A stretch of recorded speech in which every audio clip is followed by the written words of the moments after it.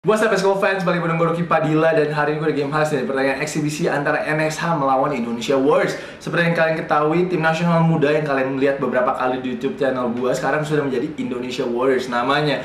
Untuk pertandingan resmi pertama mereka, menurut gue tampilnya impresif banget tim nasional kita apalagi menurut gue ini kan mereka jarang yang main bareng nih mungkin baru seminggu lah tim dibentuk. Jadi ini sangat impresif banget bagaimana mereka main defense. Menurut gue hari ini sih kuncinya adalah defense yang mereka sih.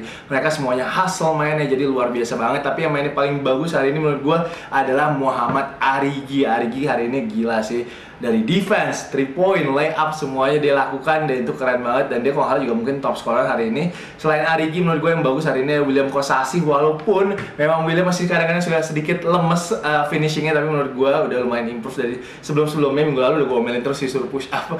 ini uh, William Kosasi ini kalau yang kalian nggak tahu uh, dia merupakan adiknya adik kandungnya uh, Vincent Kosasi center dari Stapak Jakarta. Selain itu Yuda, man Yuda juga defense-nya gokil banget hari ini menurut gue berapa kali steals dan tadi ada reverse layup dia sekali uh, N1 tuh menurut gue juga the best play hari ini sih. Kalau gitu guys uh, itu aja komentar gue uh, kita tunggu nanti aksinya uh, Indonesia Wars di pertandingan berikutnya. Tapi uh, mungkin cuma kali ini doang nih gue ngeliput secara langsung karena memang uh, nanti di luar kota lebih jauh lagi. Kalau Bandung gue karena masih bisa nyetir. Tapi kalau gitu langsung kita lihat highlightsnya guys. Jangan lupa untuk like jangan lupa untuk komen dan jangan lupa untuk subscribe. Thank you guys for watching. Enjoy the highlights